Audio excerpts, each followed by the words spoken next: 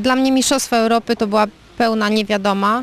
Szczerze powiem, startowałam zupełnie, że tak powiem, na czystym koncie, nie wiedząc jakie będą efekty, aczkolwiek no, spodziewałam się, że nie będzie najgorzej. Z nadziejami na, na jakiś dobry wynik.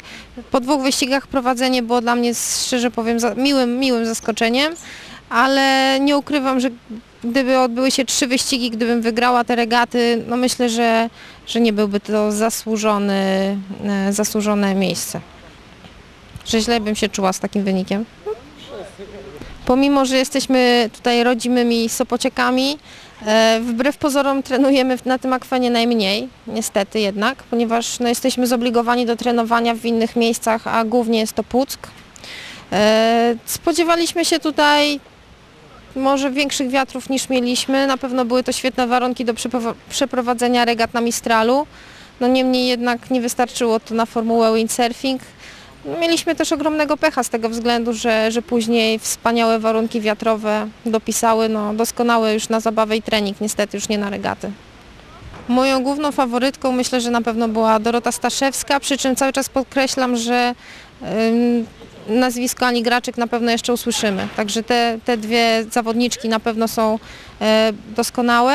Trudno mi powiedzieć na temat innych z tego względu, że no większość z nich widziałam pierwszy raz, pomijając oczywiście zawodniczki e, z Chin, które widziałam wcześniej na Mistralu. Trudno ocenić występ po dwóch wyścigach, które się odbyły, ale zabawa była fajna i no szczerze powiem, poziom jest na pewno wysoki, zwłaszcza reprezentowany przez, przez Dorotę i przez Anię, także wszystko się jeszcze okaże na kolejnych regatach, w których zamierzam wziąć udział. No, pierwszy raz uczestniczyłam w regatach, które skończyły się e, w taki dziwny sposób. Dwa wyścigi, no niestety nie zostały one uznane, ale no, tydzień czekania na wiatr, tydzień przeżyć. No, trudno mi powiedzieć, jakbym się zachowała wygrywając te regaty na pewno byłabym bardzo zdziwiona i nie wiem jak moje życie potoczyłoby się dalej, ale jeszcze będzie szansa na to, żeby pokazać, że, że zawodnicy z Mistral na pewno mogą coś powiedzieć w klasie Formuła. Zamierzam wystartować na regatach z cyklu ERA, Yy, no niemniej jednak starty te są na pewno uzależnione od, yy, od trenera kadry olimpijskiej, a także od yy, treningów na Mistralu. Jeśli czas na to pozwoli, chciałabym startować w Międzyzdrojach.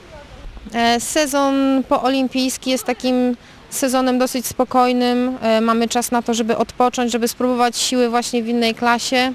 E, Ja go troszeczkę ulgowo traktuję, nie ukrywam, tym bardziej, że trochę mi też zdrowie nie dopisuje, ale myślę, że, że odbuduję się na przyszły rok i pokażę swoje rogi na nowo.